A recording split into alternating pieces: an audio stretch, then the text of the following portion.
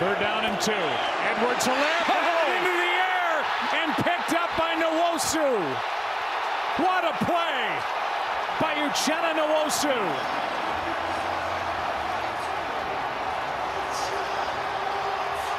Troy, he almost had one earlier. I, I was just thinking it. Wasn't he the guy who had one earlier that he almost made a play on? And it sure was, and this time he's able, he's anticipating it. He's anticipating the ball come out like it did, and man, that's uh, what a great job. Number 42 right there in your living room, and he slows up as soon as Mahomes starts to pull up and throw. He knows ball's coming out, he can't get there, and he's he gets flat. Exactly what you're supposed to do.